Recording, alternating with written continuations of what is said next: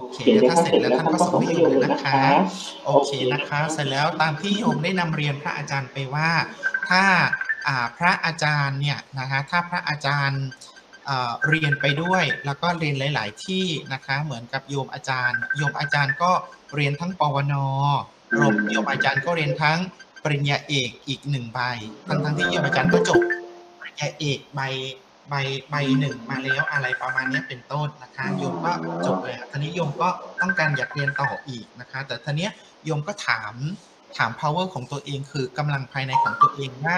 โยมอาจารย์เนี่ยไหวหรือเปล่าหนึ่งสมมติว่าเราต้องการที่จะเรียนแต่ว่าหลักสูตรนี้เขาเรียนพฤหัสศุกร์โอเคยโสธราไหว แล้วก็เรียนปริญญาเอกก็คือเสาร์อาทิตย์โอเคยโสธราไหวนะคะ แล้วทีเนี้ยมันก็จะต้องมีการยืดหยุ่นกัน แต่ทีเนี้ยเวลาเรียนแต่ละที่มันแตกต่างกัน แต่พอเวลามาตอนเนี้ยอีกประมาณ 2 เดือนนะคะสองสามเดือนข้างหน้าเนี่ยอาจารย์ยโสธราก็จะจบปริญญาเอกพร้อมกันกับปวนเลยอ๋อใช่โยมก็ได้ทั้งหมดโยมก็ได้มาสองใบเลยอาจารย์ ทั้งทั้งที่ช่วงโควิด มันเป็นช่วงสถานการณ์ที่ทุกคนปิดตัว ทุกคนแบบไม่มีงานทำทุกคนแบบ คือปิดตัวแล้วทีนี้พอเวลาวันหนึ่งโควิดมันหายไปแล้ว แล้วทีนี้พอเวลาเขาเปิดหลักสูตร เวลาเขาต้องการอาจารย์ หรือเขามีแรงงานเพิ่มหรือเขามีอะไรนั่นคือ มันเหมือนลักษณะว่าช่วงปิดตัวปี 2 ปี 3 ปีมาเนี้ยท่านมีอะไรที่เป็นการพัฒนาตัวเอง อยู่เฉยๆแต่ว่า ท่านอยู่วัดเฉยๆ แต่ว่าท่านได้เรียนไปด้วย ท่านได้มี certificate ด้วยท่านมีความรู้ของท่านด้วย แล้วท่านก็ทำงานไปด้วย แต่คนอื่นเขาบอกว่าเดี๋ยวเรียนจบนั้นแล้วก็ค่อยต่อนี้เรียนจบนี้แล้วก็ต่อนั้น แล้วจะเอาเวลาไหนไปทำงาน อาจารย์อายุมันก็มากขึ้นมากขึ้นมากขึ้นไปเรื่อยๆ อันนี้โยมให้มองให้มองหลักการของเวลานะอ่าเวลาเวลาของของคนเรามันเท่ากันมัน 24 ชั่วโมง แต่ว่าวันหนึ่งยโสธราทำสามอย่าง แต่อีกคนหนึ่งเขาเลือกทำแค่วันละอย่าง แต่อีกคนกลุ่มหนึ่งเลือกที่จะไม่ทำเลยคือรอโอกาส ดังนั้นสิ่งที่ยโสธราได้ก็คือได้วันละสามอย่าง สมมุติว่าวันเนี้ยโยมเรียนด้วยนะคะโยมประชุมด้วยนะคะ แล้วก็โยมอบรมด้วย โยมทำสามอย่างในวันนี้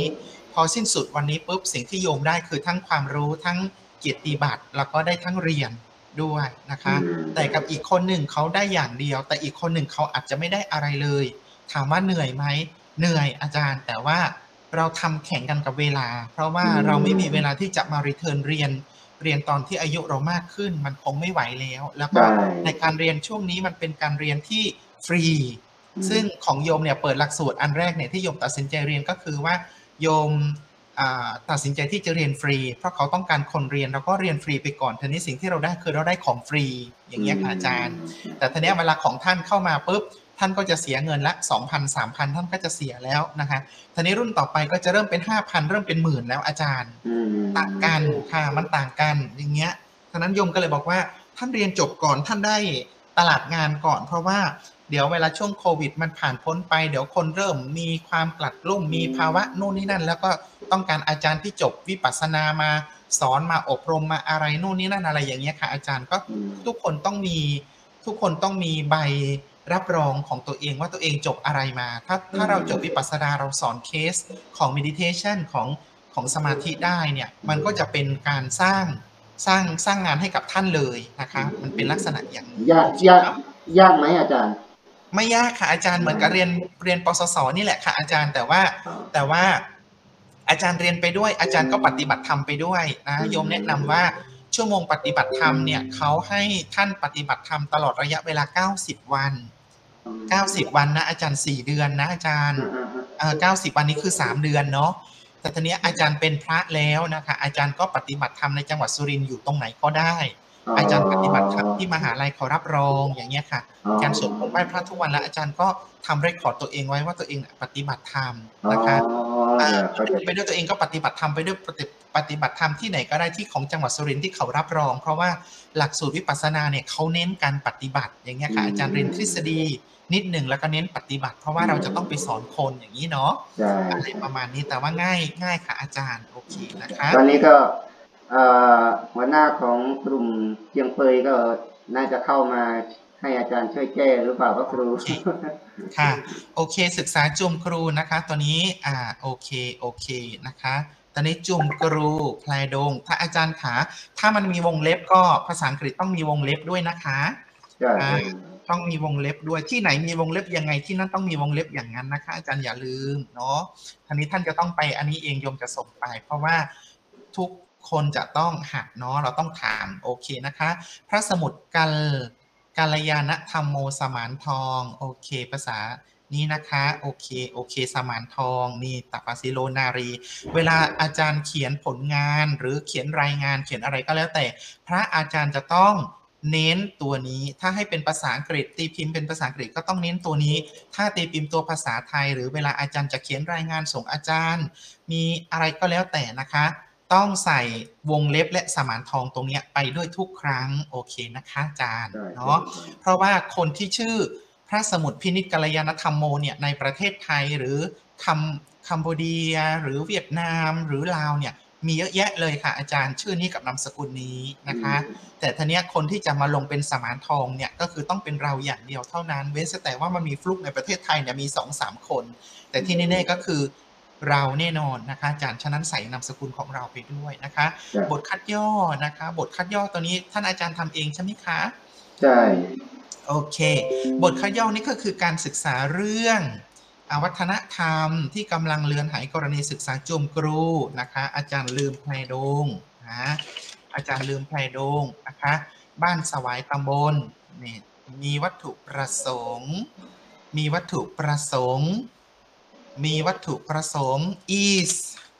อ่า objective is นะคะตัวนี้มันจะเติมคำว่า is ลงไปเนาะ is เพื่อศึกษาจมกรูจมกรูแพลดงอ่า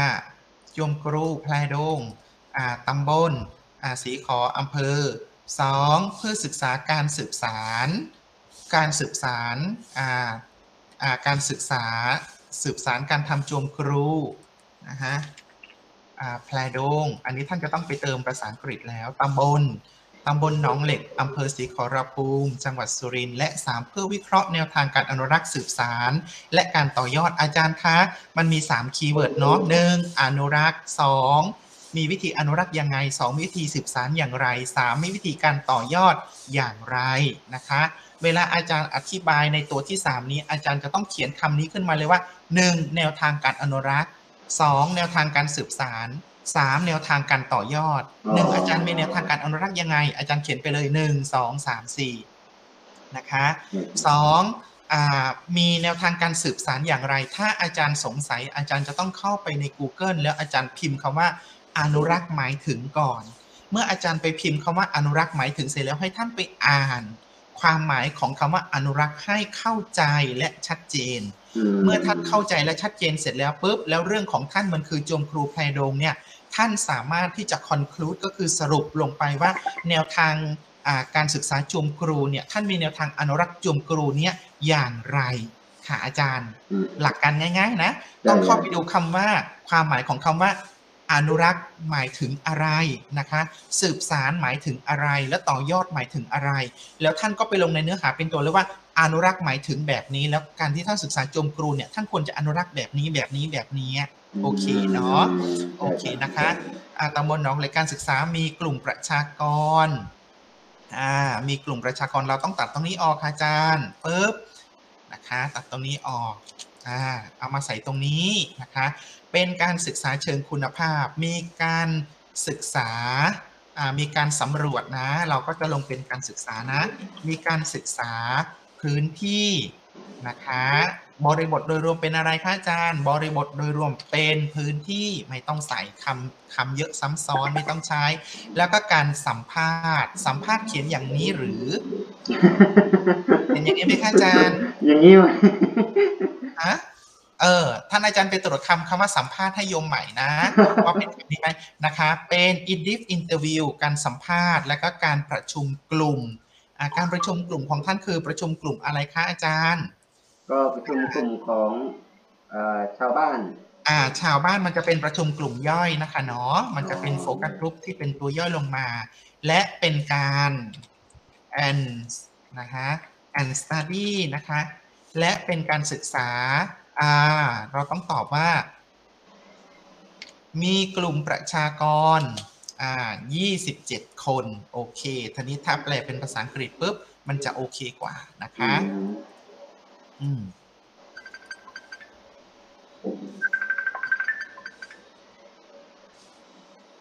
ลูกครูตรวจได้รือครู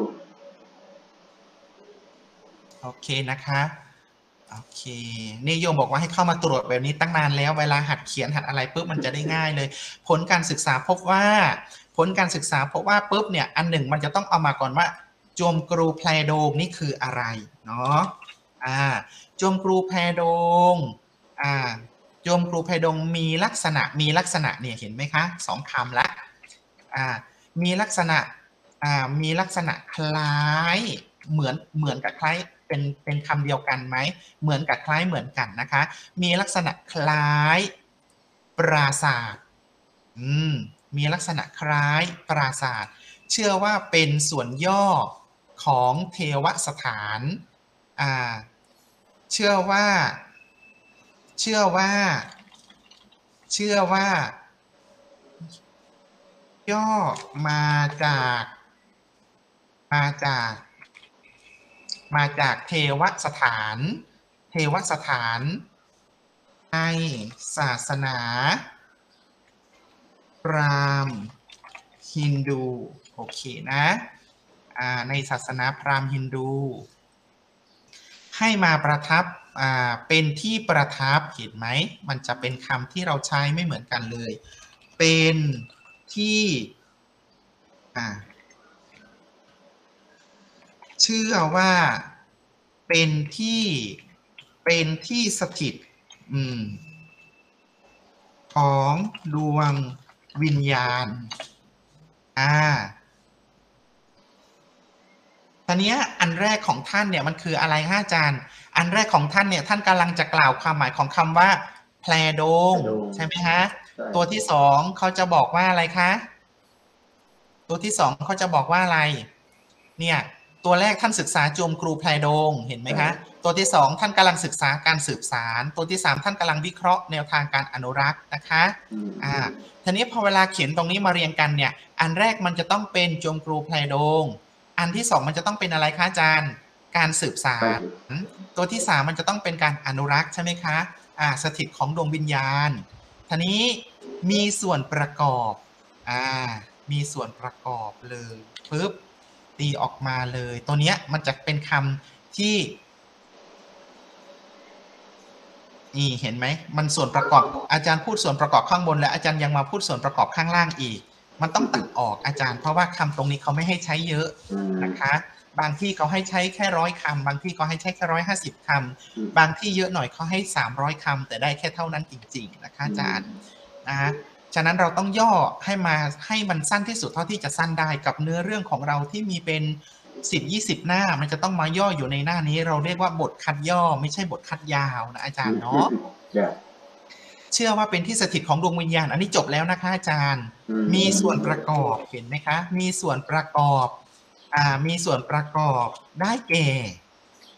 อืมมีส่วนประกอบได้แก่หนึ่ง ลูกมะพร้าวสองใบตาล ใบตาลหรือใบโพสามหมากพลูนะคะหมากแล้วก็ใบพลูอืมเวลาท่านไปแปลเป็นภาษาอังกฤษน่ะมันจะไม่รู้ว่า อันนี้คืออะไรนะคะอาจารย์ ลูกหมากมันจะไม่รู้ว่าไอ้ไอ้นี่คือคำว่าอะไร ลูกหมาก ใบพลู ดอกไม้ อันนี้ทูบเขียนอย่างนี้เหรอ เออ flower ลูก flower เสร็จแล้วก็ทูบพิมพ์เร็วเกินไปมันเลยผิดอ่าทูบอ่าและเทียนนะคะ flower ทูบเทียน มันมีส่วนอื่นด้วยใช่ไหมอ่ามันมีอย่างอื่นด้วยใช่ไหมเอใช่อมันจะมีพวกใบลำดวน มันจะมีพวกอะไรคะ มันจะมีตัวที่ห้าอาจารย์ลืมไม่ได้เลยนะโอ้จมกรูแพรโดงนี่ใช่ไหมใช่เป็นจงครูไพโดง กระดาษสีสิคะอาจารย์ ใช่กระดาษสีต้องก็จำเป็นต้องใช้กระดาษสีกระดาษสีเห็นไหมคะอ่าโอเค กระดาษสีเป็นต้น โอเคนะ ตัวนี้มันจะรวมกันอยู่มาแบบนี้นะคะ นี่ หรือใบโพเราเติมอ่านเลยนะคะและใบโพเห็นไหมมันจะน่าอ่านกว่าเลยนะคะแต่เนี้ยความเชื่อนะความเชื่อมันมาหมดแล้วเนี่ยสันนิษฐานว่านู่นนี่นั่นละ มาหมดแล้ว เสร็จแล้วตัวที่สองมันจะเป็นอะไรคะอาจารย์ อ่า ตัดออกเลยตัวนี้คำพูดเยอะ บทบาทโจมกรูได้ถูกใช้ อ่าจวมกรูแพลโดง ถ้าเราต้องการอยากให้เขารู้นะคะ ตอนนี้ให้มันเป็นเนื้อเนื้ออย่างเดียวกันเลย อ่า จวมกรู อืม แพลโดงมีอะไรคะอาจารย์ อ่า มีบทบาท มีบทบาท ที่นำมาใช้ได้แก่เห็นไหมคะ is ได้แก่หนึ่งปึ๊บหนึ่งอะไรคะประกอบพิธีรำแม่มด ด้านพิธีกรรม มันมีเยอะมากเลยทีนี้เราไม่สามารถเอามาใส่ในคัดย่อนี้ได้อาจารย์อืมันจะต้องใส่เป็นตัวย่อนะพิธีกรรมมันจะมีหนึ่งพิธีกรรมสื่อสารอืมันจะมีพิธีกรรมไหว้ครู มันจะมีพิธีกรรมบวงสรวง มันจะมีพิธีกรรมงานบวชเขาก็เอาไปใช้แล้วก็พิธีกรรมเรียกขวัญพิธีกรรมเอาไปบูชาสิ่งศักดิ์สิทธิ์นะคะ เอาไปทำบุญหรือเวลาเขาจะเอาไป ทำบุญในบุญกระทงบุญกระถินพวกคนขมงคุณเขมรนะเห็นไหมคะอาจารย์อืมอ่าเขาจะเอาไปเอาไปใช้พวกเนี้ยหมดเลยเห็นไหมคะ แต่เนี้ยมันก็จะจัดอยู่ในพิธีกรรมโอเค แล้วก็มันจะเป็นในด้านอะไรคะอาจารย์ ด้าน belief คือด้านความเชื่อโยมครูไพรดงอะมันมีบทบาทไปในด้านความเชื่อนะอาจารย์ด้วยเนาะใช่ใช่เสร็จแล้วด้านอะไรอีกคะอาจารย์ ด้านอะไรคะ ด้านประเพณีเห็นไหมคะ เพราะว่ามันเป็นนวัตกรรมชุมชน แล้วทำไมมันถึงพูดว่าเป็นประเพณีคะอาจารย์เพราะจมกลูไพรโดงเนี่ยมันมีการรักษาสืบทอดจากรุ่นสู่รุ่น อะไรก็ตามที่มันมีการรักษาสืบสานจากรุ่นสู่รุ่น เราจะเรียกสิ่งนั้นว่าเป็นอะไรคะอาจารย์ประเพณีใช่ถูกต้องเห็นไหมคะ ท่านเริ่มกระจ่างแล้วโอเค that's good โอเค let's go for นะฮะหนึ่งอ่า ritual สองอ่า belief สาม traditions สี่เป็นอะไรคะอาจารย์ มีบทบาทในเรื่องของอะไรคะ วัฒนธรรม กลุ่มชนนะกลุ่มชน โอเค เราเอาเท่านี้พอนะคะ เราไม่ต้องอธิบายเยอะๆๆๆๆๆเห็นไหมพวกเนี้ย มันจะมันจะมันจะใช้ไม่ได้นะคะอืมอ่าปุ๊บเราตีออกเลยพอเราตีออกมาปุ๊บท่านจะใช้คำไหนคะอาจารย์ ตัวนี้ใช่ไหมคะอาจารย์ การสืบสารนี่ท่านลืมคำนี้ก่อนไม่ได้ วิธีการสืบสารของท่านนี่คืออะไรนะท่านต้องเอาคำว่าสืบสารมาก่อนนะสืบสารโอเคนะการสืบสารสืบสารหมายถึงอะไรคะอาจารย์ การสืบสารอืมการสืบสาร พบว่า อาจารย์การสืบสารมันหมายความว่าอะไร บอกความหมายให้โยมฟังหน่อยสิการศึกษาอืม สืบสารคืออะไรคะเอ่อหมายถึง สืบสารหมายถึงอะไร หมายถึงการ การอนุรักษ์ไว้หรือเปล่า อืมอืมหมายถึงอะไร ไม่ได้โยมเปิดหน้าอื่นไม่ได้นะ โยมเปิดหน้าอื่นไม่ได้นะ สืบสารหมายถึงอะไรคะศึกษาหมายถึงอะไรนะสืบสารสืบทอดใช่ไหมอาจารย์ อืม อาจารย์พิมพ์ไปหน่อยสิกำลังพิมพ์อยู่สืบทอดเอ่อศึกษาหมายถึงอะไรสืบสารหมายถึงอะไรคะ หมายถึงสืบทอดสืบต่อ สืบทอดถ่ายทอดสืบต่อใช่ไหมได้สืบต่อถ่ายทอดกันมา อ่า สืบสารอ๋อปฏิบัติพบว่าพบว่านะ เห็นไหมอ่า พบว่ามรดก